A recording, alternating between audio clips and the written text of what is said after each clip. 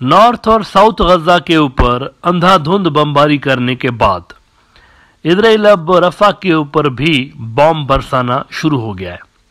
और रफा के इलाके के ऊपर उसको ख़ास तौर पर अमेरिकन ने और दुनिया ने मना किया था कि रफा के ऊपर आप मत बमबारी करिएगा। रफा का इलाका, कल भी आपको बताया था कि ये इजिप्ट के बॉर्डर के साथ लगने वाला एक इलाका है, जहाँ पे इस वक्त ज़्यादातर जो डिस्प्लेस्ड फ़लस्तीनी हैं, जिनके घर नॉर्थ और साउथ गज़ा के अंदर तबाह हो चुके हैं, वो यहाँ पे आके क़याम पजीर हैं। अपेरेंट मकसद ये नज़र आ रहा है रफ़ा के ऊपर बमबारी करने का कि यहाँ पर जो लाखों की तादाद में फ़लस्तीनी रह रहे हैं, ये किसी सूरत व हासना पेनसुला के अंदर शिफ्ट हो जाए, ताकि गज़ा के ऊपर आबादी का दबाव कम हो और इसराइल को कब्ज़ा करने में आसानी हो। अपेरेंटली यही प्लान नज़र आता है। अब होगा क्या, ये तो आगे चल के देखेंगे, लेकिन अपेरेंटली अमेरिकन ने भी इनको मना किया और बाकी के जो वेस्ट के ममालिक हैं, इन्होंने भी मना किया कि रफ़ा के ऊपर मत करिएगा बॉम्बिंग लेकिन आज इन्होंने रफ़ा के ऊपर बमबारी शुरू कर दी। कल आपको बता दिया था कि ये कर देंगे। अभी तक इन्होंने उल्लू ही बनाया है अमेरिकन को। अमेरिकन को भी और दुनिया के बाकी भी इनके जो सपोर्टर हैं, उन सबको इन्होंने उल्लू ही बनाया है, बेवकूफ़ बनाया है बेसिकली पहले ये नॉर्थ गज़ा के अंदर घुसे कि यहाँ पे हमारे हॉस्टेजेस हैं, उन्होंने नॉर्थ गज़ा तबाह किया। उसके बाद इन्होंने साउथ गज़ा का बहाना बनाया, ये वहाँ घुसे, वहाँ पर कत्लो गारत बचाई। और अब ये रफ़ा का बहाना बना के उधर घुस गए हैं और स्ट्राइक्स करके आज बड़ी तादाद में इन्होंने फलस्तीनी वहाँ पे शहीद किए हैं। The Times of Israel report कर रहा है कि I D F conduct intensive strikes on significant Rafah targets Hamas over 50 kill ये 50 नहीं है नाजरीन, नब्बे से ज़्यादा फ़लस्तीनी, आखिरी इतलात के मुताबिक नब्बे से ज़्यादा फ़लस्तीनी शहीद हो चुके हैं और ये नंबर बढ़ेगा। क्योंकि ये इनिशियल रिपोर्ट से बड़ी तादाद में वहाँ पर फ़लस्तीनी ज़ख्मी भी हुए हैं इन रेड्स के अंदर। तो रफा पे इन्होंने डिस्पाइट द फैक्ट कि अमेरिकन ने इनको मना किया अमेरिकन की ये सुनते नहीं है बेसिकली सीधी सी बात है, नहीं सुन रहे अमेरिकन की। और फ्रस्ट्रेशन जो है अमेरिकन अपने ड्राइंग रूम्स में बैठ के ऑफ़िस में बैठ के इनको गालियाँ निकाल के फ्रस्ट्रेशन निकाल रहे हैं कि ये हमारी बात नहीं सुन रहे।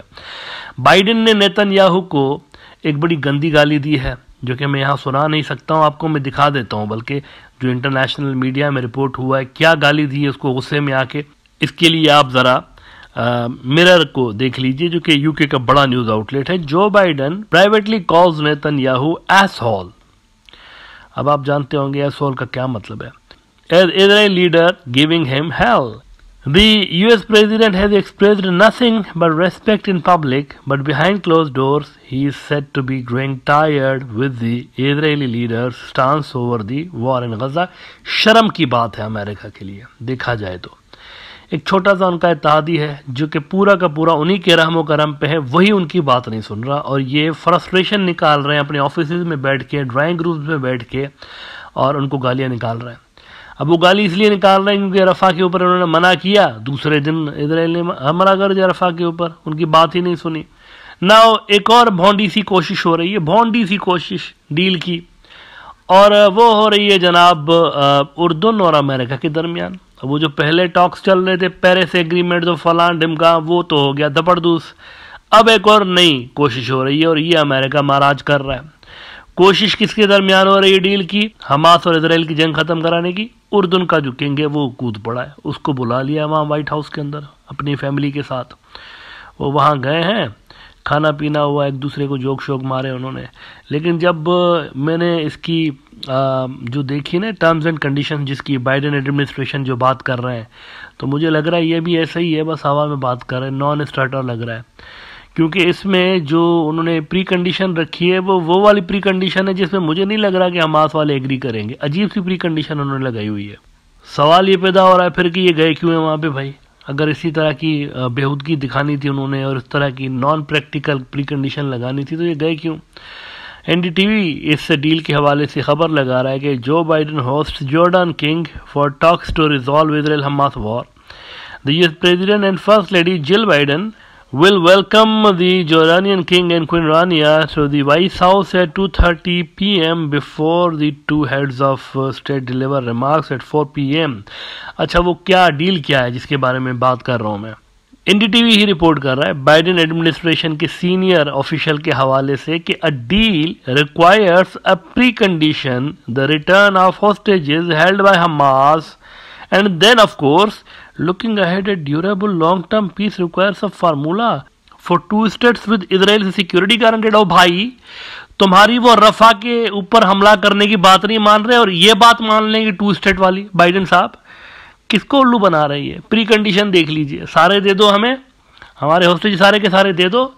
उसके बाद एक काम करेंगे ना हम बोलेंगे इनको टू स्टेट सोल्यूशन हो जाएगा बस। अमेरिका बोल रहा है इनको। मतलब उधर अपने ऑफ़िस में बैठ के गालियाँ निकाल रहे हैं ऐश और, पता नहीं क्या क्या बोल रहे हैं नेतन याहू को क्योंकि वो उनके रफा के ऊपर हमला करने की बात नहीं मान रहे। और यहाँ पर लॉलीपॉप तो देखिए दो रियासती फार्मूला बना के देंगे आपको उर्दू के किंग को बोल रहे हैं। और प्री कंडीशन ऐसी लगा रहे हैं जो कि फुलफुल ही नहीं हो सकती। अच्छा दो हॉस्टेजेस इन्होंने इनको मिल गए दो हॉस्टेजेस तकरीबन साढ़े तीन महीने की जिद्दोजहद के बाद तीस हज़ार के लगभग लोग शहीद करने के बाद दो बंदे इन्होंने निकाले। ये खुद कह रहे हैं रफा का भी हमास का इस पर वर्जन आना बाकी है। इसराइली जो मिलिट्री है, उसका वर्जन ये है कि हमें दो बंदे, दो हॉस्टेजेस मिले हैं। रफा के अंदर से हमें ये दो, अब पता नहीं रफा से मिले या कहीं और से मिले या रफा के ऊपर बमबारी को जस्टिफाई कर रहे हैं that we need to see क्योंकि प्रोपोगंडा वॉरफेयर में इसराइली जो है वो काफ़ी ज़्यादा बिलीव रखते हैं। बहुत सारे झूठ पहले भी ये बोल चुके हैं तो ऑफिशियल नैरेटिव दूसरी साइड से क्या आता है, फिर हम इस पर बात कर सकते हैं। दो, लेकिन जो इनके हॉस्टेजेस थे, उसके हवाले से खबरें आ रही है। साढ़े चार महीने के बाद इनको दो बंदे मिले हैं, और अभी तक सवा सौ के लगभग जो है वो हमास के पास मौजूद हैं लोग। तो ये बड़ी अनफॉर्चुनेट किस्म की सूरत हाल है मीन वाइल लेबनान का जो बॉर्डर है, वो एज यूजल हॉट है। लेबनान के बॉर्डर पर लड़ाई जारी है। वहाँ पर एक हज़ार के लगभग हमले अब तक हिजबुल्ला कर चुका है इसराइल के ऊपर और इसराइल ने आज भी मेरे ख्याल से वहाँ लेबनान के अंदर स्ट्राइक किए हैं, जिसके अंदर कुछ नुकसान की इतलात आ रही हैं इसराइली मीडिया के अंदर। अरब न्यूज़ ने रिपोर्ट किया है कि Israel intensifies attacks on southern Lebanon तो वहाँ पर भी लड़ाई जारी है सदरन लेबनान के अंदर। पैलेस्टीनियन इस्लामिक जिहाद के जो लीडर्स हैं, वो हसन नसरुल्लाह के साथ मिले हैं। हसन नसरुल्लाह जो कि हिजबुल्ला के चीफ हैं, उनके साथ इस्लामिक जिहाद के लोग मिले इस्लामिक जिहाद के बारे में आपको मैं बता चुका हूँ, यहाँ पे गज़ा के अंदर हमास के अलावा जो दूसरा सबसे बड़ा ग्रुप एक्टिव है, वो पैलेस्टीनियन इस्लामिक जिहाद है पी आई जे और ये दोनों इतिहादी हैं हमास और पी आई जे इतिहादी हैं, लेकिन पी आई जे की जो स्ट्रेंथ है, वो हमास से काफ़ी कम है हमास की स्ट्रेंथ ज़्यादा है पी आई जे से। तो उनके जो लीडर्स हैं, वो जाके मिले हैं लेबनान के अंदर हिजबुल्ला वालों के साथ। As far as talks are concern ceasefire is concern तो इसराइल की भी वही पुरानी पोजीशन है अभी तक। और हमास वालों की भी वही पुरानी पोजीशन है। वो कह रहे हैं कि अगर सीज फायर की बात करनी है ना तो ये चार छः रोज़ की सीज फायर नहीं चलेगी। अगर आपने करनी है तो परमानेंट सीज फायर की बात करें, हमारे सारे बंदे रिलीज़ करें, हम भी फिर आपके सारे बंदे रिलीज़ करेंगे। तो दोनों साइड्स पे अभी तक जू के तू डिमांड्स मौजूद हैं, और कोई फार्मूला अभी तक बन नहीं पाया सीज फायर के हवाले से।